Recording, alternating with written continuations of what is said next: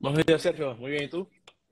Bien, hermanito, gracias por permitirme conversar un rato contigo. Él es trader, pero vamos a hablar después un poquito acerca de ese trabajo que realiza él, pero sí conocer un poco acerca de su trayectoria aquí en Estados Unidos. Me decías que ya tienes eh, por lo menos unos eh, seis, ¿no? Años, para siete, seis, siete años. Siete años aquí en Estados Unidos. Siete años en Estados Unidos. Eh, te viniste, bueno, me imagino saliendo de toda la crisis terrible que se vivía en Venezuela para el momento, ¿correcto? Sí, así es, así es. Por la, digamos la parte de venezolana estudiando en la ULA, en ese momento ingeniería mecánica, sin, sin clase, las guarimbas, toda la situación del país en ese momento que muchos recordamos. Claro, hay que tomar en cuenta, eh, Emil es un joven, tiene 29 años y bueno, hace 6, 7 era un samito, ¿no? Cuando saliste. Sí, Y llegaste hasta Nueva York.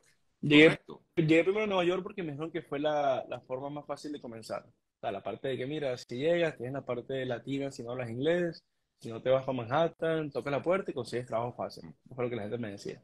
Y por eso me, me fui directamente de Mérida a Nueva York. Ya. Pero tú llegaste como turista en un principio. Tú dijiste, bueno, déjame probar, suerte, a ver qué tal me va. Yo llegué como turista, gracias a mi visa de turista. Obviamente iba ya con la mentalidad de aprobar, pero probar si me quedo de vez. Porque, porque, en ese momento es el momento que todo el mundo está viendo. Yo estaba en octavo semestre de ingeniería en ese momento. Obviamente mi familia me cayó encima, que te faltan dos semestres, que ya casi, que vas a ser único sin título, que bla, bla, bla. Pero la situación del país estaba muy difícil en ese momento y bueno, me tomé la decisión. Eh, y, cuéntame, ¿cuál era tu objetivo aquí? ¿Qué, ¿Qué, pensabas? Tú dijiste, bueno, quiero estudiar, quiero progresar, ¿qué querías hacer? Mi objetivo era conseguir lo que no sentía tener en Venezuela. Sea, porque bien sea en Venezuela no es que vivía mal, mis padres también ingenieros, eh, yo estaba claro que todo lo que yo pudiera tener en ese momento era de ellos, no mío. Y realmente no veía ese, ese futuro en Venezuela y dije, nada, o sea, voy a arriesgarme, bien sea continuar la carrera de, ingeniería en, en, Estados Unidos o conseguir un nuevo camino que se nos pueda abrir, que estaba escuchando en ese momento, que todo el mundo decía, sabes, el sueño americano, Estados Unidos, aquí están las oportunidades, este es el momento de, de si eres joven, sin hijos, sin familia, pues a tomar, tomar el riesgo. Claro, y, y, tú dices, bueno, aquí hay que, hay que hacer algo para subsistir. Eh, ¿Qué, ¿Qué, hiciste para, para poder comer? Bueno, cuando llegué, lo primero que hice fue buscar trabajo. O sea, lo primero que hice fue buscar trabajo. No hablaba mucho inglés. Eso no me, no me detuvo. Me fui una vez a Manhattan. Trabajé en la famosa Pequeña Italia, si la gente la conoce, en la ciudad de Manhattan. Fue mi primer trabajo como eh, dishwasher, lavando platos ahí en, en la Pequeña Italia. ¿Qué, ¿Qué, tiempo estuviste haciendo ese trabajo? Eh, estuve un año y seis meses justamente en ese trabajo. Un año y seis meses. De agosto de 2016 hasta diciembre de 2017. Eh, y bueno, claro, por supuesto que hay muchas cosas que allí aprendiste, ¿no? Eh, un poco a, a, ser más humilde, pudiéramos decirlo así. Sí, o sea, obviamente cuando llegas a Estados Unidos con, con tener que trabajar, te das cuenta que el chip de Venezuela de que si vivías bien, tenías carro o cualquier cosa, Aquí no tienes nada, o sea, aquí comienzas desde cero, comienzas desde cero y tienes que comenzar a, a entrarle a todos. Sea, cualquier oportunidad que se te presentara, no puedes ponerte con que no, pero es que yo como voy a lavar platos si yo estoy en ingeniería, mis padres son ingenieros, ¿cómo voy a lavar un piso si, ¿me entiendes? Hay que guardarte ese chip y comenzar totalmente desde cero. Sí. Y, y nada, tú dijiste, bueno, yo, yo, tengo que seguir adelante y surgir y, y avanzar, ¿no? Eh, y, y, qué hacías mientras tanto, Emil? Para bueno, yo llegué, al punto, yo llegué al punto de que tienen, tuve tres trabajos que yo conseguí primero y dije, ok, me quedan todavía dos días libres a la semana, me quedan unos shifts en la mañana me ponía, me quedaba en la noche. Y yo dije, nada, voy a completar y aprovechar de que estoy joven y tengo esa energía de que puedo darle y darle y darle y conseguir dos trabajos más en el momento. En su momento tuve tres trabajos, literalmente trabajaba 7 por 7 y casi que 24 horas al día prácticamente. O sea, descansaba muy poco, el poco tiempo que dormía lo dormía en el metro, del trayecto del trabajo a la casa y, o sea, ese, era mi día a día en, Nueva York. Ese era mi sueño americano por ese wow. Qué fuerte, ¿no? Eh, eh, eh, bueno, pero, pero forma parte del aprendizaje, ¿no? Forma parte del crecimiento como persona. Exacto, exacto. No, y también la parte de comenzar a aprender el inglés. O sea, tener que en Nueva York, algo que yo agradezco de llegar a Nueva York que me, me impulsó a aprender inglés. Mucha gente que por lo menos llega directamente a Miami, sí me ha dado cuenta que como no tiene la necesidad de aprender el idioma, pues pasan los años y no lo aprende realmente. O sea que en paralelo tenías tres trabajos y estudiabas inglés. Estudiaba pero de forma didáctica, por mi cuenta. Videos en YouTube, música en el metro, leer los subtítulos, lo que escuchaba en la calle, tratar de repetirlo y así fui poco a poco aprendiendo. Wow, wow, wow, wow. Bueno, nada, eh, eh, bueno, forma parte del que quiere, puede, ¿no? Yo creo que, que, eso es lo que me imagino que ha sido parte de tu desarrollo como, como persona, lo que has aprendido. Eh, quisiera que me contaras justamente de todo eso que viviste, de todo eso que tuviste que hacer, ¿qué, ¿qué, te dejó? Bueno, realmente todo lo que tuve que hacer, este, digamos, para, para llegar donde estoy, menos que te, que te refieres a eso, ¿no? Yo siempre desde, desde Venezuela tuve como dijiste al principio, un espíritu emprendedor. O sea, por más que mis padres me daban todo, porque no, no voy a mentir, ellos me daban todo, yo me había comenzado a emprender y comencé a hacer una línea de ropa deportiva, porque en ese momento estaba la, en la, en la onda del gimnasio, comencé cuando me dieron un carro, comencé a hacer transporte con el carro, o sea, una vez yo me rebuscaba para comenzar a hacer mi dinero. Cuando llego a los Estados Unidos, no tenía una visión clara de lo que quería hacer y a través de redes sociales encuentro y comienzo a ver todo este mundo de lo que es el trading, inversiones en el mercado, forex, criptomonedas y nada, comencé a aprender. Dije, ok, si voy a hacer esto, voy a comenzar a aprenderlo de alguna forma y yo pienso que fue Dios que me impuso a la persona correcta, porque literalmente ya una persona, no me hizo falta buscar a otra persona, tengo un, en la parte de forex o lo que es el trading, un mentor jamaiquino. Él es jamaiquino, pero nacionalizado americano, viviendo en Miami.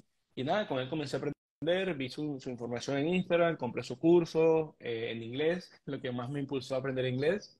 Y nada, llegaba del trabajo a las 2 de la mañana, abría mi laptop, lo poco que podía estudiaba, para dormir que sea 2 3 horas, a las 8 3 irme a trabajar y esa era mi rutina día tras día, día tras día.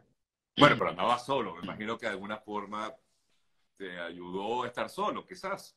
Sí, sí, estaba completamente solo. O sea, sí tenía ciertas amistades que habían también decidido migrar y estaban en los trabajos y cuando los veía, pero en cuanto a nivel personal estaba totalmente solo y pues tenía todo el tiempo del mundo para, para hacer lo que yo quisiera, ¿no? y, y, bueno, dijiste nada, por aquí es el camino. En tu caso encontraste, digamos, la manera de desarrollarte a nivel personal en este mundo del trade que quizás muchos no entienden, quizás para algunos es un poco complicado, ¿no? Eh, este, este mundo del trade, pero para ti, ¿te pareció sencillo? Me pareció sencillo, yo pienso como vengo de un background de ingeniería mecánica, donde pasas por, eh, eh, digamos, termodinámica, química, física, cálculo, o sea, la cuestión de números, gráficas, ya, a ver, ya venía acostumbrado a eso. Entonces, cuando me di cuenta que era algo por ahí de tecnología, ver una gráfica, analizar, comenzar a hacer inversiones, me gustó y se me hizo fácil en teoría, pero fue algo que me, me apasionó de repente. O sea, lo comencé a buscar hacer desde, un, desde una pasión más que de que hacerlo porque solamente había dinero en el mercado. Sí, eh, y, dijiste, bueno, por aquí es el camino. Ahora, no todo el mundo, digamos, el mundo del trade no es para todo el mundo. No, jamás, jamás. O sea, por ejemplo, eh, yo no me veo dedicado a ello porque, porque sé que algunos, eh, eso hay que estudiar. Es como, es una carrera. O sea, yo tengo un tío que me dice, a lo mejor tú no fuiste a una universidad que te dio un título de trading, pero tú te preparaste, estudiaste, porque fue lo que yo hice para hacer lo que hago. Y es que todo parte del conocimiento. Yo siempre digo, el trading no es para todo el mundo, sin embargo, todo el mundo puede intentarlo. Porque es algo que está online, es algo de un clic de distancia que tú puedes intentar y ver qué tipo de inversión se, se, se, adapta a tu estilo de vida y lo que tú eres. Porque hay inversiones como lo que conocemos en el stock market, como Warren Buffett, por ejemplo, el famoso inversionista, él lo que hace es invertir a largo plazo mira, ¿sabes qué? En lugar de solamente ahorrar, invierte en, acciones a largo plazo, Amazon, Tesla, Apple, por decir algunas, y en largo plazo tienes un capital que va creciendo, más allá de solamente porque hace el banco que más se va devaluando con el tiempo.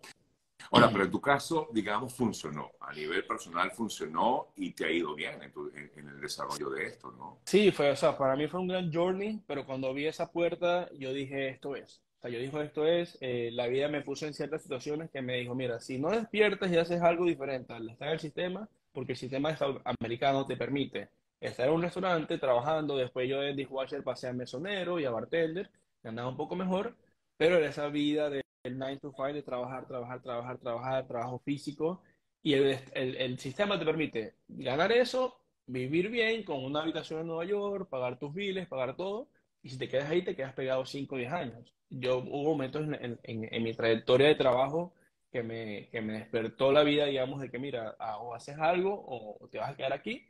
Y me funcionó. Yo pienso que porque puse el mil por ciento de esfuerzo. O sea, yo dejé de lo que eran las rumbas. Muchas veces cuando llegas a un país nuevo como este y tú dices, mira, no, quiero ir a Nueva York, que es una ciudad imponente, que tienes 1500 lugares para visitar cada noche si tú quieres. Eh, déjalo eso, dejé a un lado la vida. Mis amigos me dijeron que, ¿por qué no ya salías con ellos? Todos salían de trabajo, tú sabes, como un mes hablando, tomar un poco de cerveza, descansar el otro día. Y yo no, yo estaba enfocando en lo mío. O sea, yo estaba con el, con el norte bien, bien claro. Y pudieras, pudiéramos asegurar, Emil, que hoy día tienes éxito en esta carrera? Sí, ya tengo, bueno, justamente esto me permitió, uh, yo llegué en agosto de 2016 a los Estados Unidos y esto me permitió en, diciembre de 2017, es decir, un año y cinco meses después, dejar todos mis trabajos. Yo, me, yo pude dejar todos mis trabajos en restaurantes y dedicarme 100% a esto, gracias a que a ese punto ya estaba haciendo el equivalente y un poco más a lo que ganaba en, en los trabajos pues, de, de restaurante. Y ya a partir de ese 2017, finales de 2018, fue como que una, una catapulta para mí. O sea, ahí comencé a, obviamente, a dedicarle más tiempo al estudio. Eh, ya soy exitoso, realmente ya soy un trader que tiene ya desde el 2018 hasta la actualidad eh, siendo rentable en el mercado Forex. De forma autodidacta aprendí a invertir en el mercado de criptomonedas y pues vivo 100% de esto, gracias a Dios. A tu juicio, eh, Emil, ¿qué marca la diferencia en las personas para lograr el éxito? ¿Qué, es lo que tú, en vista de todo lo que tú has vivido, en lo que tú sientes que efectivamente has logrado alcanzar tus metas? Pero ¿qué, qué diferencia marca en cada quien a tu juicio? ¿Qué recomendarías a esas personas que están emprendiendo cualquier cosa? No tiene que ser esta área, puede ser el área en que quiera que se desarrollen. Pero a tu juicio, ¿cuál sería eso? ¿Qué, qué sería eso que, que marca la diferencia para para yo, lograr el éxito? Yo pienso que de mi experiencia lo principal es que aprendan a conocerse ustedes mismos. Muchas personas realmente no saben lo que quieren. O sea, muchas personas te preguntan, ¿qué quieres lograr? ¿Qué quieres hacer? Y no lo tienen claro. Una vez lo tienen claro, yo, por, porque me he dado cuenta en este país, por cosas tan mínimas que tú digas que es un pequeño emprendimiento, se puede volver un emprendimiento exitoso, una marca exitosa, por ejemplo. Muchas personas comienzan con una marca de ropa, pero comienzan de una forma muy tímida, de que no, bueno, una marquita de ropa para que me dé para vender algo fin de semana, hacer un dinero extra, pero si lo tomas en serio, tú puedes crear un macro de eso. Entonces, no importa lo que, lo que sea tu sueño, tu pasión, créete que puedes lograrlo a un punto alto, un nivel exponencial, ¿ok? Sea lo que sea. Yo he visto personas que, desde dentistas aquí, que conozco, eh, doctor G. Smile, que soy muy, muy cercano a él, un dentista, que mucha gente piensa que un dentista es alguien, bueno, o sea, un dentista normal y no será muy exitoso, una persona de éxito, o sea, al final tienen que tener claro lo que quieren, creen su plan, así como las inversiones, algo que llamamos plan de trading, creen su plan de vida, coloquen un sueño bien arriba, coloquen pequeñas metas que sean los escalones y poco a poco vayan por ellas, que eventualmente van a llegar a ese, sueño grande que, es ese eh, ustedes pues quieran lograr. ¿Cuál crees tú que puede ser el principal obstáculo de las personas para no lograr eh, alcanzar sus metas? Si te soy sincero, por lo que vi alrededor de las personas que yo intentaba, digamos, no jalar, pero intentaba mostrarles eso y se bloqueaban una vez, sobre todo la parte del dinero, se bloquearon en cuanto a no tengo el dinero, no tengo el dinero, no tengo el dinero y se bloquearon una vez mentalmente. Claro. Yo no tenía dinero, yo no tenía dinero. Pero, pero, el dinero puede ser un obstáculo, ¿no? claro, por eso es un obstáculo, pero no te puedes, es un obstáculo que puedes tener, pero no te puedes bloquear que nunca lo vas a tener. Me pasó a mí. Yo no tenía el dinero, pero tenía las ideas y tenía lo que quería hacer y eventualmente las puertas se fueron abriendo. Entonces puede ser un, obstáculo que sea el dinero, otro puede ser el idioma, otro puede ser las conexiones que te falten para llegar a ese, a ese punto. Muchas veces el círculo que tienes a lo mejor no es el mejor círculo para lograr tu objetivo y tienes que darte cuenta que para ese círculo de business que quieres tener, te tienes que mover donde estás ahorita a otro círculo. Y Ahora, de las cosas que me han pasado desde la experiencia que yo viví. Claro, no, por supuesto. Eh, eh, pero los obstáculos se los pone uno mismo en el camino porque o están allí, porque efectivamente muchas veces están allí. Ambos, están ahí y también uno mismo se los pone en el camino. Pero, Ambos. pero ¿por qué crees tú que ocurra eso? Yo pienso porque, como te digo, a veces la, la mentalidad es muy importante. O sea, el mindset que tú tienes, ¿con qué comienzas? O sea, si yo veo por lo menos mis videos de cómo yo incluso me expresaba o hablaba, cuando no tenía nada, mi mindset estaba claro. O sea, tú puedes no tener dinero, pero la mente es libre. Tú puedes pensar lo que quieras, soñar lo que quieras. O sea, no puedes bloquearte en algo que depende totalmente de ti. Exacto. Eh, lo que pasa es que, a veces uno se cansa, ¿no? Sí. El cansancio yo creo que es uno de los peores obstáculos que uno tiene. Uno dice, ya, hasta aquí llegué, no aguanto más, ¿no? Y eso te va deprimiendo, te va como que absorbiendo y te va como que, eh, no sé, eh, nublando la mente quizás para poder ver hacia el futuro.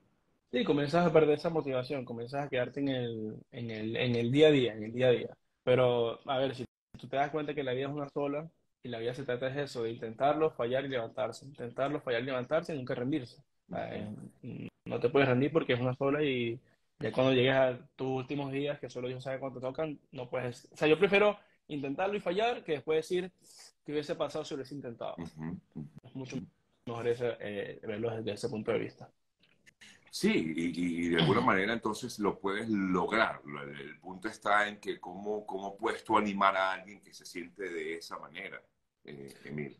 O sea, como le digo a la persona, yo tengo un dicho que dice, si lo puedes imaginar es posible. O sea, yo soy un ejemplo de eso, ya en este país sin ningún dinero, o sea, literalmente me prestaron dinero para mi primer mes de renta, eh, no tenía el idioma, 100% eh, digamos, dominado, tres trabajos, no tenía tiempo y, y lo logré. O sea, si yo, si yo puedo, muchas personas también pueden lograrlo, lo importante es eso, que se organicen, se lo crean y al final tengan la convicción de que pueden lograrlo. Porque muchas veces un error muy común es que buscan la aprobación de sus familiares o amigos o personas cercanas de lo que van a hacer. Entonces a veces te dan la espalda o te dicen, estás loco, tú no vas a lograr eso, estás loco, tú vienes de un pueblito de, de allá de Venezuela, ¿cómo tú piensas que vas a lograr eso? Y, y si te dejas influenciar por esos comentarios negativos, ¿por qué me pasó? Cuando comencé todo esto, todo el mundo me decía que estaba loco, que, son esos números, que vas a perder la plata que estás haciendo allá, manda más bien eso para acá para Venezuela que nos hace falta. Todo ese tipo de comentarios, si das que te influencian realmente, pues te vas a bloquear y vas a decir, sabes que la gente tiene razón y tú mismo tiras la toalla.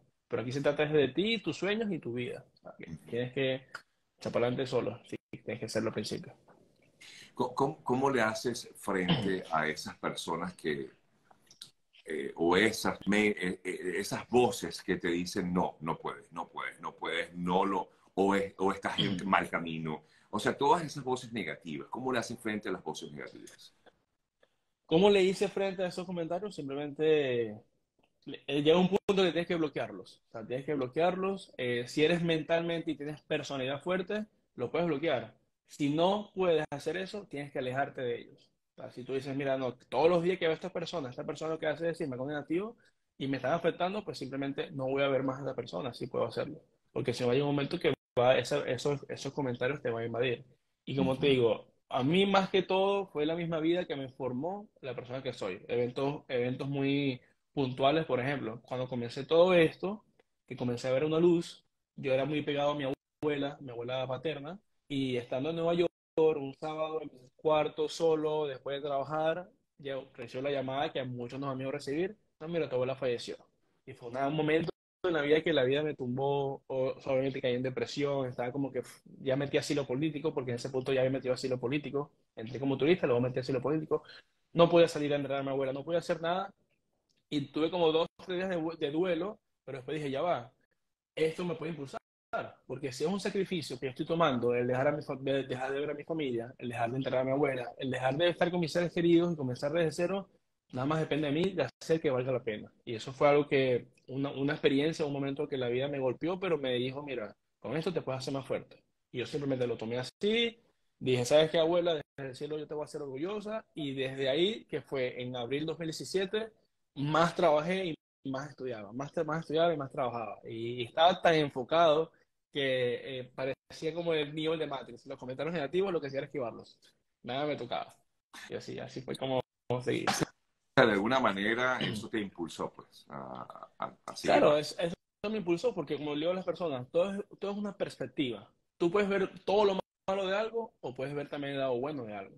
Entonces yo pienso que la vida, las veces que me golpeaba, yo decía, ok, golpéame, pero yo sigo adelante. Porque eh, ya tomé los sacrificios que tuve que tomar para estar aquí, bueno, es, es, mi trabajo hacer que valga la pena esos, sacrificios. Sí, eh, definitivamente. Eh, ojo, estamos hablando, un poco para que entiendan, que quizás veo algunos comentarios que dicen, no entiendo de qué habla. Estamos hablando con un joven que es eh, maneja el, área del trader, pero y que de eso ya me, ahorita me vas a contar un poco acerca de eso, porque hay personas que me dicen que es un trader, no entiendo, ahorita me explicas un poquito. eso. Pero, pero estoy hablando con este joven que es un emprendedor que comenzó en su propia, en esta área en particular, pero que bueno, un poco lo que ha sido su trayectoria desde que llegó a este país como migrante, buscando una, un nuevo horizonte y como poco a poco ha ido desarrollándose y hoy día como bien decíamos, pudiéramos asegurar que ha tenido éxito en su carrera, a pesar de los eh, comentarios negativos que puedas recibir, porque este tema es siempre muy ágil, ¿sabes? Yo, yo he hablado en varias ocasiones con, con otros eh, traders y siempre es un tema álgido. Hay gente que está muy a favor y hay gente que está muy en contra de todo esto. Correcto. Eh, explícale primero a las personas por encima, ¿qué, ¿qué es un trader? ¿A qué se dedica? Trader viene de la palabra comercio, ¿verdad? Compra y venta. Ya a este punto, al nivel que estamos tecnológicamente, con tu teléfono tienes acceso a los mercados financieros. Tienes acceso al mercado Forex, que el mercado Forex es intercambio de divisas. Tienes, acceso al mercado del stock market, que son las acciones de Wall Street. Y tienes acceso a mercados como el de criptomonedas, que es el nuevo mercado que Bitcoin y todas las, digamos, monedas digitales que ha surgido en la última década. Entonces, un trader lo que hace es invertir su dinero, en lugar de invertir el tiempo como lo hacemos en el sistema, invertimos el dinero buscando un retorno de esa inversión. Ok. Exacto. Y, pero depende en todo caso del, eh, del mercado bursátil, de lo que pasa en, el mercado, mejor dicho. O sea, obviamente depende de qué mercado estás trabajando. Unos mercados son más, más volátiles, más riesgosos. Eso sí digo a todo el mundo. Cada inversión, sea cualquier mercado, incluso el real estate o cualquier mercado, siempre conlleva una, un riesgo sea, tú nunca puedes estar 100% seguro que vas a lograr un retorno. Tú puedes perder tu dinero en estas inversiones. Y, cualquier persona puede, eh, digamos, involucrarse en esto, porque como comentábamos al principio, eh, esto tiene que estudiarse, ¿no? ¿no? No, es fácil tampoco dedicarse a ello y también, eh, pues, es tiempo, ¿no? como siempre digo, lo ideal o lo, lo, más importante es el conocimiento. Yo creo que yo como me enfoqué primero en aprender antes de invertir, fue lo que también me ayudó a, comenzar con el pie derecho. yo puedo decir, decir, que en esos mercados comencé ganando, no comencé perdiendo, pero todo parte del conocimiento adquirido antes de entrar en los mercados. Ok, ok, ok. O sea que tienes que efectivamente prepararte para, para, tienes que prepararte para, esto. Y como tú comentas, comentabas también hace rato, ¿necesitas eh, dinero? Tú decías que, que, no necesariamente. Para aprender no, porque tienes mucha información. Yo por lo menos tengo un canal de YouTube gratuito donde la gente puede comenzar a aprender eh, eh, muchas de las estrategias que yo uso. Pero para entrar al mercado sí tienes que invertir. O sea, si sea un dólar, tienes que invertirlo. Mi primera inversión, me acuerdo muy claro, fue una criptomoneda llamada Ethereum en el 2017. invertí los primeros 300 dólares que me había quedado del cheque de la semana ese extra que me quedó después de pagar todos los biles, fui lo invertí en esa moneda Ethereum, que para que tengas un poquito de contexto, la, el potencial que hay de invertir en estas criptomonedas, que Ethereum es una moneda digital, de hecho fue la segunda que se quedó después del Bitcoin, yo la compré en 9 dólares en enero de 2017. Ah, y ese mismo año, en diciembre, llegó a 1500. Bueno, pero no siempre ocurre así. No, no, no siempre ocurre así, pero te digo, obviamente, como puedes ganar, como puedes ganar mucho, puedes perder todo. Pero lo que te digo es que el aprender y exponerte a una inversión a través de un conocimiento te puede llevar a oportunidades de retorno como esa. Ok, ok. Bueno, Emil, te agradezco muchísimo. Yo sé que, eh, como bien decías, estás desarrollando también tu propio canal de YouTube donde hablas un poco acerca de este tema. que hay personas que conozco o veo que, hay, que están bien informadas acerca del tema. Sí, hay, tienes algunos eh, que dicen que no, que no, que no funciona, otros que sí, que es una maravilla. Bueno, cada quien en todo caso que se coge, eh, se mm, tome su propia decisión. Pero bueno, gracias Emil por contarnos un poco de ti. Pueden seguir a Emil si quieren y conocer un poco más de su trabajo a través de arroba Emil Trader, Emile, Emile Trader. Emile, Emile Trader. Emile Trader, por allí lo pueden buscar y bueno, además que siempre con estos importantes mensajes también de superación, que creo que es importante, sobre todo para momentos tan duros como lo que hemos vivido en los últimos años, una situación terrible de pandemia, los mismos migrantes que nos ha tocado salir y ver qué hago, cómo comienzo en algo nuevo, cómo comienzo un nuevo emprendimiento. Tú lo encontraste en este camino, hemos visto a otros amigos que también se han desarrollado en otras áreas yo creo que cada quien debe en todo caso pues buscar ese camino. Pero sí. el, el, mensaje eh, al final, eh, Emil, es ese, no, no dejarte vencer. ¿no? Exacto. Si me permites agregar algo, le decía a la gente que no importa qué edad tengan, no importa su situación actual, recuerden algo, su situación actual no, no, no determina su futuro. Y si ustedes agarran y comienzan a perseguir sus sueños con una pasión, el perseguir sus sueños va a hacer que como consecuencia obtengan el dinero que quieren. Entonces no persigan el dinero, persigan sus sueños, que eso va a llevarlos al dinero. Qué bien, qué bien, qué bien, porque efectivamente todos estamos tras nuestros sueños, aunque tengamos la edad que tengamos. Así es. Así es. Así es. Un fuerte abrazo, Emily, gracias. ¿sí? Hermano, gracias por la oportunidad. No, Un placer sí. para mí estar aquí en este espacio. Dale, un fuerte abrazo.